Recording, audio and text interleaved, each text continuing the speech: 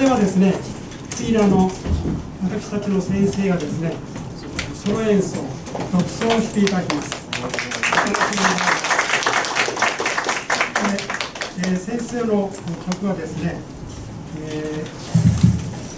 ー、工場の月」高木源太郎作品「工場の月」ですね、えー、これをですね、えー、編曲された難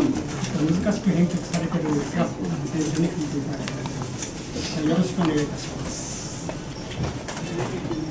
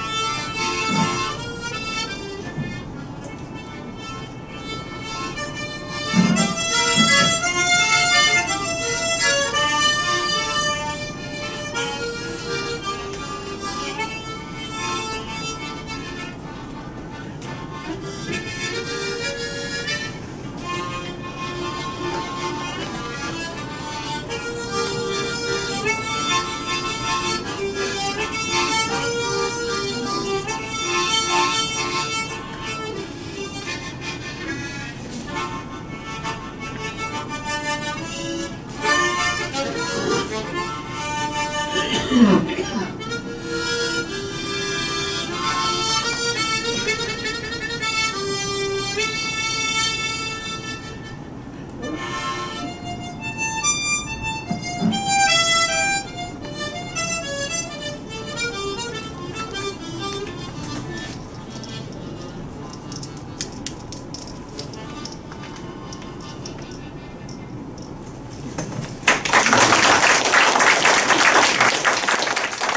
ありがとうございます。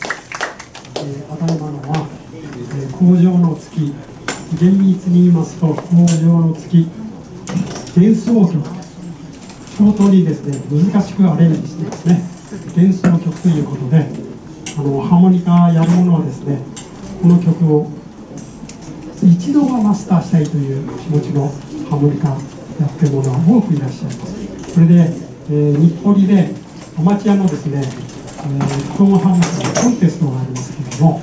この工場の月幻想曲は課題曲として必ずですね全員参加した者がこの曲を吹いて、えー、優劣をつけるこれぐらい有名な曲でございます。はいありがとうございました、えー、それではですね